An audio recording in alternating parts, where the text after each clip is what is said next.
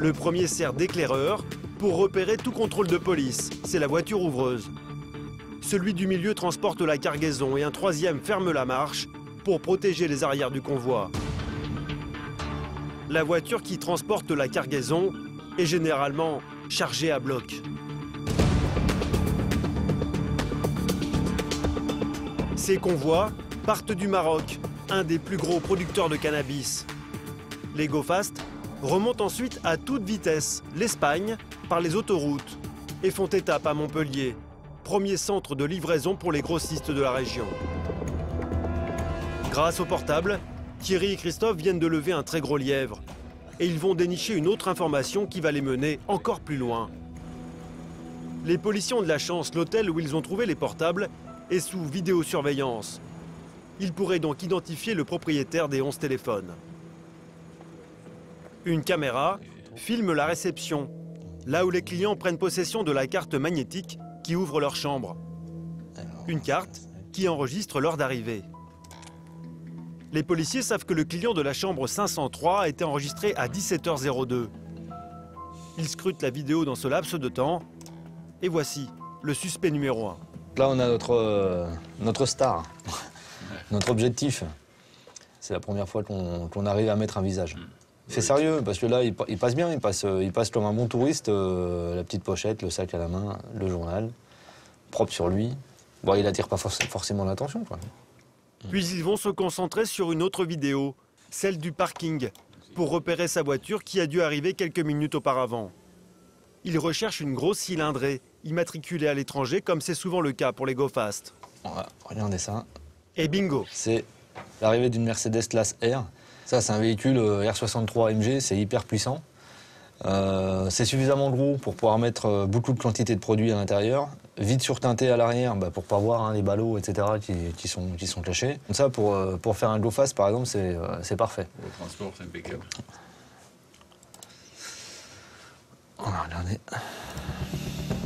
Mais les enquêteurs ne vont pas s'arrêter là. S'ils ont bien affaire à un go fast, ils devraient voir arriver un ou deux autres véhicules d'accompagnement. Alors en visionnant les vidéos suivantes, il voit débarquer sur le parking encore une voiture qui a le profil.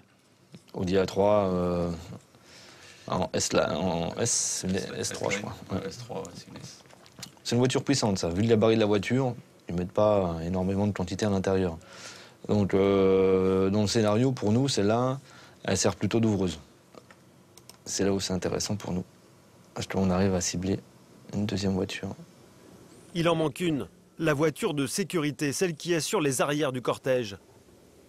Les policiers repèrent quelques minutes plus tard cette berline noire, elle aussi en plaque étrangère. Le convoi est au complet. Dans le hall, l'horaire d'arrivée correspond à ces individus descendus des derniers véhicules. Bon, ils étaient deux dans le véhicule qu'on les voit arriver tout à l'heure. Pareil, hein. bon touriste, mais euh, sérieux, propre. Euh, voilà. Mettez rien en évidence, hein. ils sont, euh, c'est c'est intelligent en fait, voilà. On voit rien sur l'extérieur. C'est pas des signes extérieurs de richesse. D'après les enquêteurs, ces faux touristes ne devaient pas transporter de drogue. Sinon, ils n'auraient pas pris le risque de laisser toute la nuit leur voiture sur le parking. Il pourrait donc s'agir des préparatifs d'un convoi qui part s'approvisionner. Et les soupçons des policiers vont se confirmer. Grâce à la vidéo, ils ont les visages des suspects. Et grâce à la réception, ils ont leur nom. Mais surprise, en recherchant dans le fichier des passeports aucune trace, ils ont donné des fausses identités. Des téléphones portables en pagaille, des voyageurs qui camouflent leur nom, des voitures de grosses cylindrées. Plus de doute, un go-fast est bien parti chercher une grosse quantité de stupéfiants en Espagne ou au Maroc. Reste à savoir quand il va remonter à Montpellier. Et c'est là que les problèmes vont commencer pour les policiers. Car il n'y a pas plus dangereux à suivre et à intercepter qu'un convoi de go fast. Christophe sait de quoi il parle. Il en a déjà 8 à son actif, rien que sur Montpellier. La suite de l'enquête ne va pas être de tout repos. Il suffit de suivre le policier à la fourrière de la ville pour s'en rendre compte. C'est là que sont stockées la plupart des voitures saisies par la brigade des stupes. Des véhicules de dur à cuire.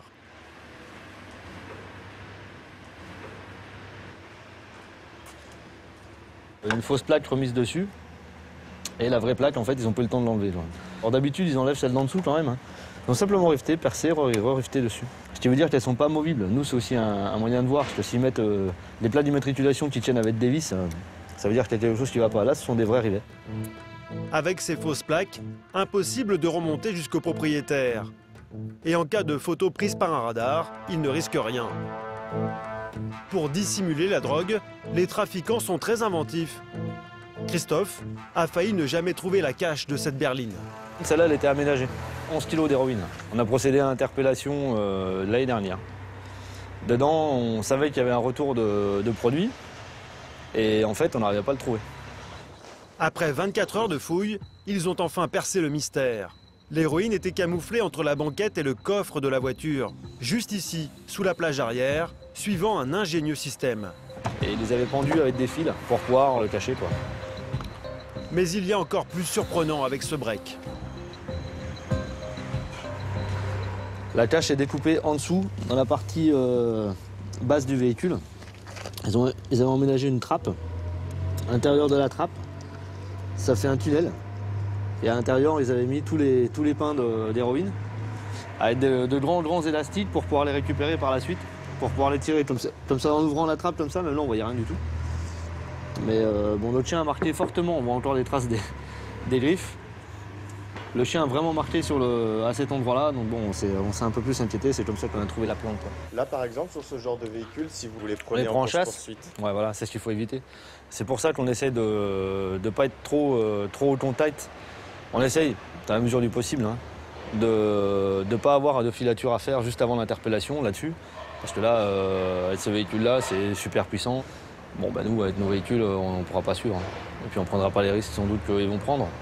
Et puis on va surtout pas faire prendre des risques aux gens autour de nous. Donc euh, on n'arrivera pas à les suivre. Trop dangereux pour les prendre en filature. Alors comment Christophe va-t-il s'y prendre pour traquer le Go Fast qui est parti de l'hôtel en direction de l'Espagne ou du Maroc et qui va bientôt revenir sur Montpellier? Les enquêteurs vont exploiter un élément qui trahit ces convois de stupéfiants, leur vitesse. Ils roulent à tombeau ouvert. Avec un peu de chance, les voitures de l'hôtel ont pu être flashées par des radars. Voilà l'astuce des policiers pour les tracer. Thierry a donc communiqué les immatriculations des véhicules suspectés au centre qui reçoit toutes les photos des voitures flashées ces derniers jours. Et 48 heures plus tard, une des trois voitures a été repérée. Elle a bien été radarisée à un endroit stratégique, la frontière espagnole qu'elle a franchie à une vitesse folle. Il s'agit de la berline noire du parking de l'hôtel.